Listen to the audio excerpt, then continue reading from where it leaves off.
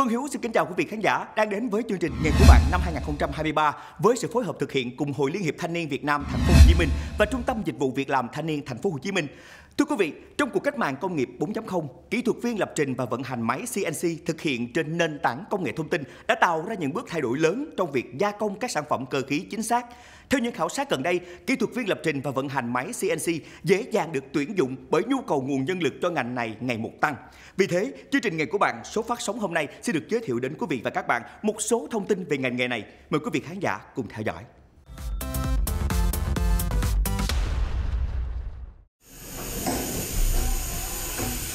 Trước đây, gia công cơ khí thường sử dụng các loại máy tiện, máy phay thông thường. Việc gia công sản phẩm vẫn phải thực hiện nhiều thao tác bằng tay. Ngày nay, sự xuất hiện của các máy gia công CNC trên nền tảng công nghệ đã tự động hóa hầu hết các công đoạn gia công cơ khí một cách chính xác và nhanh chóng. Kỹ thuật viên vận hành máy phay CNC trong cách mạng công nghệ 4.0 đã tạo ra những thay đổi lớn trong việc gia công các sản phẩm cơ khí chính xác. Tại xưởng sản xuất, việc gia công các sản phẩm cơ khí được bắt đầu bằng việc lập trình trên máy tính và truyền tải yêu cầu kỹ thuật bằng các lệnh điều khiển máy CNC từ những kỹ thuật viên vận hành máy phay CNC sẽ thực hiện gia công sản phẩm theo yêu cầu. Để các lệnh điều khiển đúng với yêu cầu, người kỹ thuật viên vận hành máy phay CNC phải phân tích được quá trình thi công như cần gia công bao nhiêu bước, tốc độ phay, chọn dao cắt phù hợp. Thưa quý vị, lúc này đứng cạnh Phương Hiếu là bạn Đinh Việt Cường, đang là kỹ thuật viên lập trình và vận hành máy phay CNC. Chúng ta sẽ tìm hiểu về quá trình bạn làm việc nha. Chào Cường, Cường làm công việc này bao nhiêu lâu rồi? Dạ em làm công việc này cũng được gần 4 năm rồi anh. Bên cạnh những kiến thức chuyên môn nè thì mình cần phải trang bị thêm những kỹ năng, những kiến thức gì để có thể bắt nhịp với công việc cũng như trở thành một lập trình và vận hành máy phay CNC giỏi. Dạ. Thì ngoài cái kiến thức chuyên môn á anh thì em cần phải bổ sung thêm các kiến thức về đọc bản vẽ này. Đó là rất quan trọng ha. Cái thứ hai là em sẽ tìm hiểu về các dụng cụ đo à, và mình phải sử dụng được thành thạo các dụng cụ đo.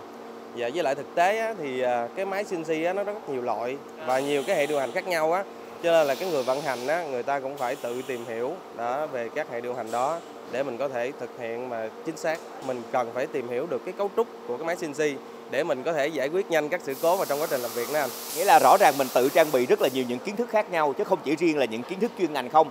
Có một vài bạn trẻ nhận định là khi mà làm kỹ thuật viên vận hành liên quan đến máy móc á, thì thường giao tiếp không có tốt. Bạn thì bạn nghĩ sao? về cái vấn đề giao tiếp thì em nghĩ là các ờ, bạn kỹ thuật viên cũng có kỹ năng giao tiếp rất tốt để mình có thể làm việc trực tiếp với khách hàng cũng như là à, mình trao đổi với cấp trên quản lý của mình trong quá trình làm việc. á. Ngoài ra mình cũng cần phải trao đổi thêm các cái kỹ năng về à, ngoại ngữ để mình có thể giao tiếp và làm việc với các đối tác nước ngoài nữa. Vậy thì để phát triển với công việc này thì không biết là mình đã chuẩn bị cho mình những điều gì để có thể ngày càng phát triển hơn. Để mà làm việc tốt ở trong cái ngành này á, thì trước tiên á, thì vận hành máy á, là cái à, bắt buộc mình phải biết. Tiếp theo là mình phải tìm hiểu về à, phần mềm, hỗ trợ về gia công cơ khí. Mình phải tìm hiểu đổi mới để mình có thể đáp ứng được nhu cầu của nhà tuyển dụng. À. Mình có những cái chia sẻ gì với những bạn đang mong muốn theo học ngành này hay trở thành một nhân viên, kỹ thuật viên, lập trình và vận hành máy phay CNC? Các bạn à, mới ra làm kỹ thuật viên á, thì trước tiên á, mình phải đặt cái mục tiêu học hỏi lên hàng đầu là quan trọng nhất. Đó, về lâu á, có kinh nghiệm á, thì à, mình sẽ được cái mức lương như mình mong muốn. Cảm ơn những chia sẻ của em và chúc em nhiều sức khỏe cũng như công việc ngày càng thăng tiến ha. Thưa quý vị, rõ ràng với mỗi công việc thì đều có bắt nguồn xuất phát từ đam mê. Các bạn trẻ đang có cái mong muốn trở thành một kỹ thuật viên hay một nhân viên lành nghề của toàn cầu thì các bạn cần trang bị rất nhiều kiến thức và kỹ năng kinh nghiệm để chuẩn bị đến với công việc này. Kỹ thuật viên vận hành máy phay CNC trong những năm gần đây có nhu cầu tuyển dụng nhân lực ngày một tăng. Chính vì vậy, đây được đánh giá là một nghề có tiềm năng phát triển trong thời gian tới.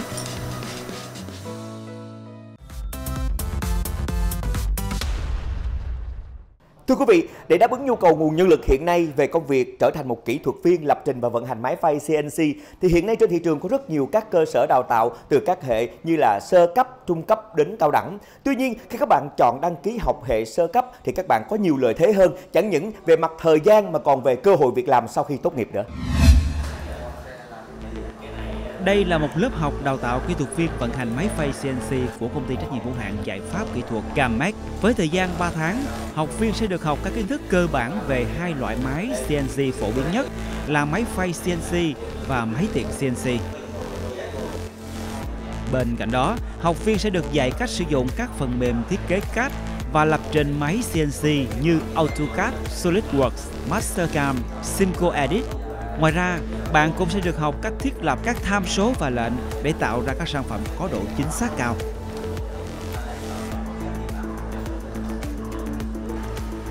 Sau khi nắm vững lý thuyết, học viên sẽ được thực hành tại các công xưởng, nhà máy mà các trung tâm dạy nghề đặt liên kết để gửi học viên đến thực hành.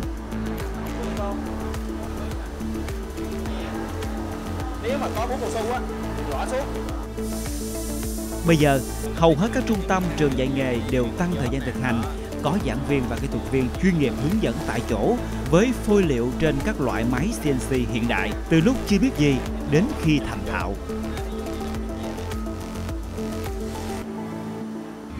Thưa quý vị, đây là bạn Hoàng Văn Tính đang theo học kỹ thuật viên lập trình và vận hành máy phay CNC. Chào Tính. Dạ em chào anh ạ. Câu hỏi đầu tiên anh muốn hỏi là khi mà Tính lựa chọn học ngành này là do cái mong muốn cá nhân của mình hay là yêu cầu từ gia đình? Dạ em học ngành này theo mong muốn cá nhân và sở thích của em ạ. Em thích cái gì ở ngành này mà em chọn học? Dạ em thích ngành chế tạo ạ, sáng tạo theo ý mong muốn ạ. Bắt tay vào học với công việc là trở thành một kỹ thuật viên lập trình vận hành máy phay CNC thì nó có những trở ngại nào không?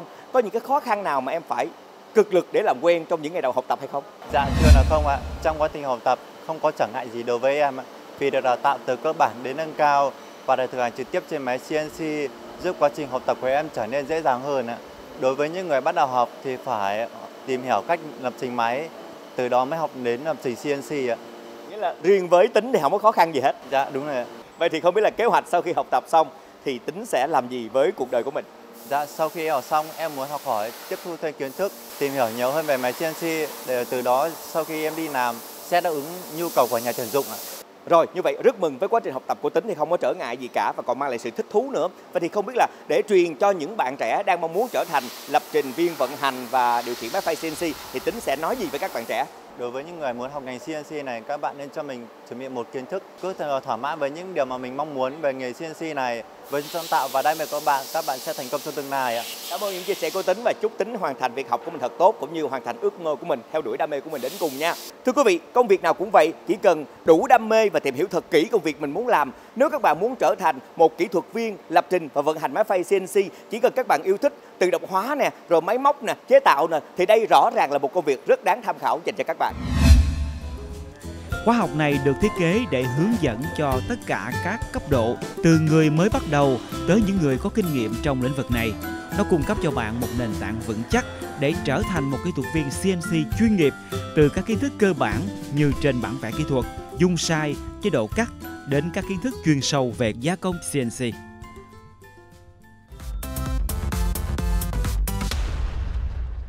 Kính thưa quý vị, về vấn đề đào tạo, xin được giới thiệu ngồi cạnh Phương Hiếu lúc này là anh Doãn Văn Hùng, giám đốc công ty trách nhiệm hữu hạn giải pháp kỹ thuật Camet để chúng ta cùng tìm hiểu thêm nha.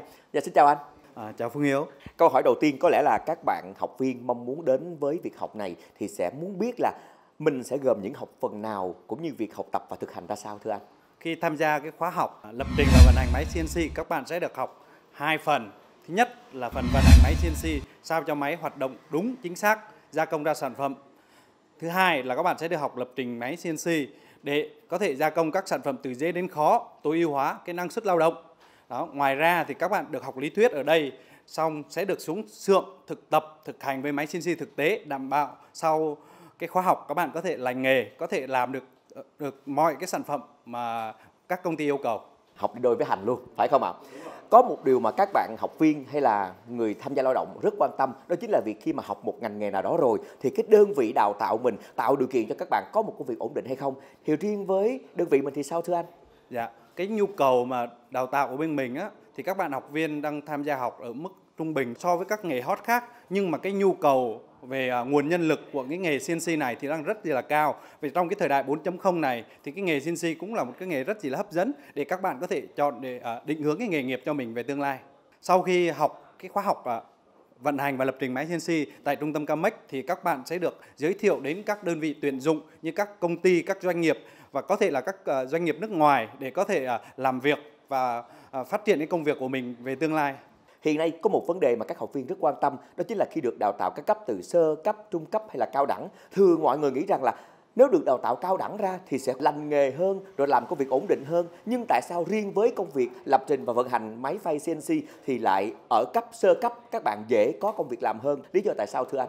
Trình và vận hành máy CNC này á thì đòi hỏi, không đòi hỏi về các bạn có kiến thức cao vì lúc quá trình đào tạo bên mình đã đào tạo từ cơ bản đến nâng cao và kết hợp giữa lý thuyết và thực hành để các bạn có thể ờ, sau khi tốt nghiệp khoa học là có thể làm việc được luôn. Cho nên các bạn nào có yêu thích về nghề vận hành và lập trình máy phay CNC thì có thể ờ, đăng ký vào học theo đuổi cái niềm đam mê về cái lĩnh vực cơ khí chính xác.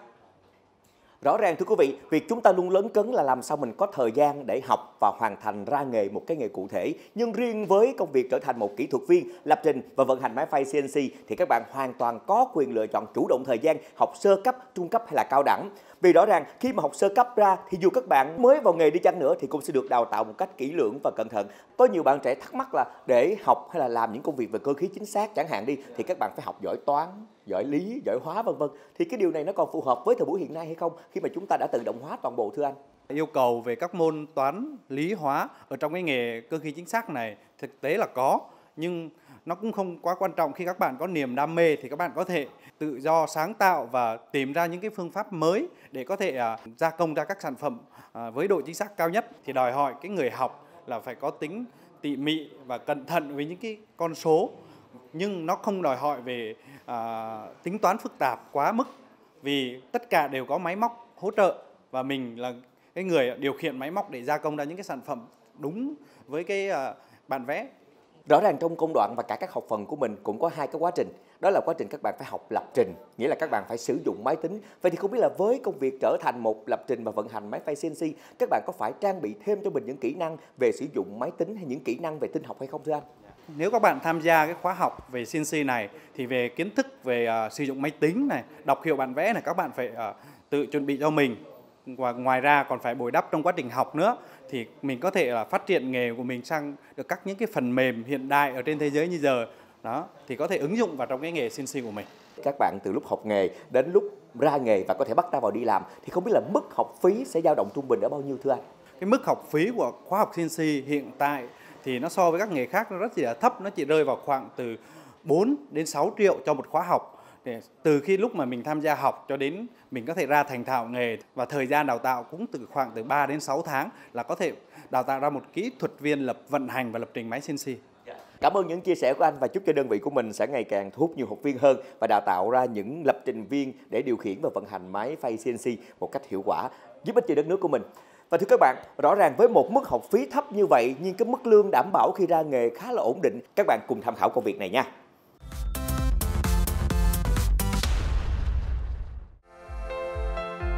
Hiện nay nhiều bậc phụ huynh không muốn con em mình theo học ngành cơ khí vì nghĩ rằng ngành này khó khăn, vất vả.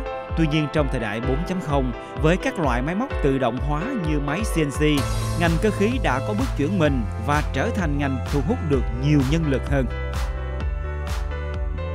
Theo Hiệp hội Doanh nghiệp Cơ khí Việt Nam, cho đến năm 2020, cả nước có khoảng 14.800 cơ sở sản xuất kinh doanh sản phẩm cơ khí nhưng chỉ có 116 doanh nghiệp có trên 1.000 lao động, cho thấy các nhà máy khu công nghiệp cơ khí hiện nay đang rất cần nguồn nhân lực.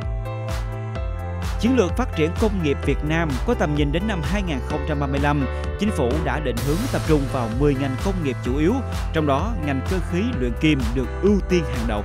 Tuy nhiên, nhiều nhân lực có tay nghề cao thường chọn xuất khẩu lao động, vì thế ở Việt Nam vẫn cần rất nhiều nhân viên CNC Chính vì thế mà hiện có rất nhiều doanh nghiệp đang cần tuyển dụng các vị trí công việc vận hành, lập trình, giám sát CNC. Đặc biệt, kỹ thuật viên vận hành máy phay CNC là vị trí được đại đa số nhà tuyển dụng tìm kiếm.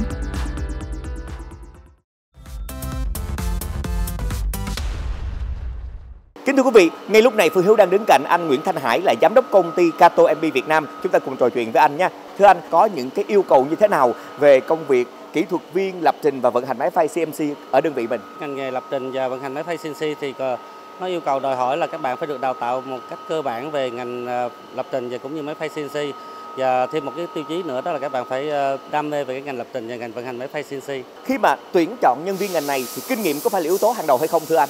Cái kinh nghiệm nó không phải là yếu tố hàng đầu nhưng mà nếu mà mình nhà, làm một nhà tuyển dụng thì các bạn có kinh nghiệm thì mình sẽ ưu tiên vấn đề yêu cầu đầu cơ bản nhất là vấn đề về đào tạo và cái đam mê đó là cái cái yếu tố thiết yếu nhất để cho mình mình lựa chọn nhân viên.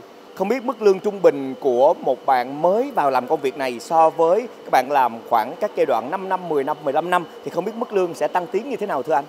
Thì đối với công ty Cato MB thì hiện tại là nhân viên vận hành máy phay thì nó sẽ nằm ở trong mức lương từ 8 cho tới 12 triệu. Rồi à, đối với nhân viên lập trình thì từ 12 tới 15 triệu. Sau từng năm thì các bạn sẽ lên những vị trí trưởng nhóm, rồi trưởng phòng, nhân viên quản lý thì nó sẽ nằm ở mức lương từ 15 triệu cho tới khoảng 30 à, tới 35 triệu. Bên cạnh việc các bạn nhận được lương cứng, có thêm những cái khoản hỗ trợ nào khác nữa hay không? Ngoài vấn đề về lương cứng, bên mình còn có những cái chế độ về bảo hiểm, rồi những cái chế độ lương thưởng cho các bạn hàng năm theo chế độ của công ty, đi du lịch hàng năm cho công ty nữa. Có du lịch hàng năm luôn hả? À, sướng quá ta. Có phải công việc này chỉ phù hợp cho nam không? Nữ thì có làm được công việc này hay không thưa anh? Các bạn nãy giờ cũng đã thấy thì đa phần là nam nhưng mà bên cạnh đó thì các bạn nữ vẫn có thể làm được. Tại vì đối với công ty ờ, Kato MB á, đó là một công ty gia công hàng cơ khí chính xác. Hàng hóa nó không phải là rất là nặng cho đó các bạn nữ vẫn có thể làm được. Và còn các bạn mà làm lập trình CNC thì các bạn nữ ờ, hoàn toàn có thể làm việc được. Như vậy là mở rộng cửa chẳng những cho nam và nữ đều có thể có cơ hội việc làm với công việc này luôn. Hiện nay thì anh nhận thấy rõ ràng là cuộc cách mạng công nghiệp 4.0 đã len lỏi vào tất cả mọi ngành nghề, mọi lĩnh vực của chúng ta. Vậy thì không biết là riêng với các bạn, nếu mà muốn lựa chọn cái công việc đó chính là kỹ thuật viên vận hành lập trình và điều khiển máy phay CNC thì không biết là các bạn cần trang bị thêm cho mình những kiến thức cũng như những kỹ năng gì để phù hợp với nhu cầu và cuộc sống hiện đại ngày nay? Bên cạnh những cái vấn đề về ờ, cái kỹ năng về ngành nghề ờ, vận hành cũng như lập trình máy phay CNC thì bên cạnh đó thì các bạn phải ờ, trang bị thêm cho mình những kiến thức mới, những cái cái phương pháp gia công mới, rồi những cái về đặc biệt đó là cái ngành mà vận hành với lại máy lập trình á thì nó những khách hàng của mình đa phần là những khách hàng à, nước ngoài thì nhiều thì các bạn phải trang bị thêm cho mình những ngoại ngữ đặc biệt là tiếng Anh lẫn tiếng Nhật để mình có thể tiếp cận được những ngành à, cái phương pháp gia công mới và có thể có được cái cơ hội mới đối với những cái à, đối tác nước ngoài. Thưa quý vị, rõ ràng với mức lương cao và cơ hội thăng tiến cũng khá tốt, nhu cầu về nguồn nhân lực của ngành này cũng rất dồi dào. Tuy nhiên, một thực tế tại Việt Nam đó chính là nguồn nhân lực để cung cấp cho công việc này lại đang rất thiếu. Với thời buổi hội nhập hiện nay thì rõ ràng việc mà chúng ta trang bị cho mình những kỹ năng mềm bên cạnh kỹ năng chuyên môn sẽ giúp cho các bạn chẳng những tiến sâu, tiến xa hơn mà còn có thể tồn tại với công việc của mình một cách tốt hơn nữa. Cho nên đây là một công việc hoàn toàn rất đáng tham khảo dành cho các bạn trẻ. Hội Liên hiệp Thanh niên Việt Nam Thành phố Hồ Chí Minh và các cơ sở hội à, luôn xác định một điều là việc đồng hành hỗ trợ thanh niên không chỉ trong nghề nghiệp và việc làm mà còn là trang bị các kỹ năng thực hành xã hội, kỹ năng giao tiếp và các hành trang khác, đặc biệt là kỹ năng mềm để các bạn tự tin, vững vàng trong việc à, khởi nghiệp, lập nghiệp và làm giàu chính đáng. Trong thời gian vừa qua, Hội Liên hiệp Thanh niên Việt Nam từ cấp thành đến cơ sở đã có rất nhiều các chương trình, các giải pháp từ hình thức trực tuyến tới hình thức trực tiếp để các bạn thanh niên ở các lĩnh vực ngành nghề cũng như là các địa phương có cơ hội được trải nghiệm và tìm hiểu đến các lớp kỹ năng hiện nay riêng đối với trung tâm dịch vụ việc làm thanh niên thành phố thì hàng năm cũng đã có những cái lớp kỹ năng mềm cho các bạn thanh niên sau khi mà được đào tạo nghề xong. Như vậy thì cái sự lựa chọn nó khá là đa dạng. Thứ hai nữa là các bạn có thể trực tiếp tham gia các hoạt động đồng hành trang bị kỹ năng ở hội liên hiệp thanh niên việt nam, các quận, huyện và thành phố thủ đức. Và việc đăng ký này thì rất là đơn giản. Các anh chị có thể à, lên trang của hội liên hiệp thanh niên việt nam, ở các quận, huyện, ở trên mạng xã hội hoặc là các nền tảng công nghệ để có thể đăng ký và tìm hiểu. Hiện nay thì ngoài các nhóm kỹ năng về phỏng vấn, viết CV xin việc thì ờ, chúng tôi còn trang bị thêm cho các bạn kỹ năng về giao tiếp, kỹ năng xây dựng kế hoạch, kỹ năng nói trước đám đông và kỹ năng à, làm việc nhóm để các bạn thanh niên khi mà bước vào môi trường của doanh nghiệp công ty thì các anh chị rất là sẵn sàng một cái tâm thế rất là thoải mái trong việc cộng hưởng và làm việc để um, hòa hợp với cái văn hóa của doanh nghiệp và đạt được cái hiệu quả lao động tốt nhất. Thưa quý vị, đến đây thì thời gian dành cho chương trình nghề của bạn cũng đã hết. Chân thành cảm ơn Hội Liên hiệp Thanh niên Việt Nam Thành phố Hồ Chí Minh, Trung tâm Dịch vụ Việc làm Thanh niên Thành phố Hồ Chí Minh đã phối hợp thực hiện chương trình này. Còn bây giờ, Phương Hiếu xin được phép kính chào tạm biệt và hẹn gặp lại.